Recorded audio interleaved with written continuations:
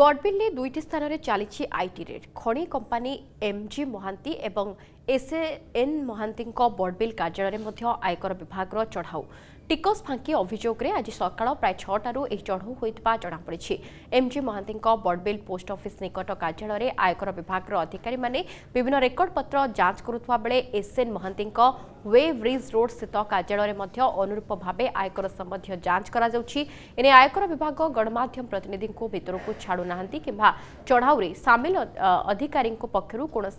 सूचना दि जाऊना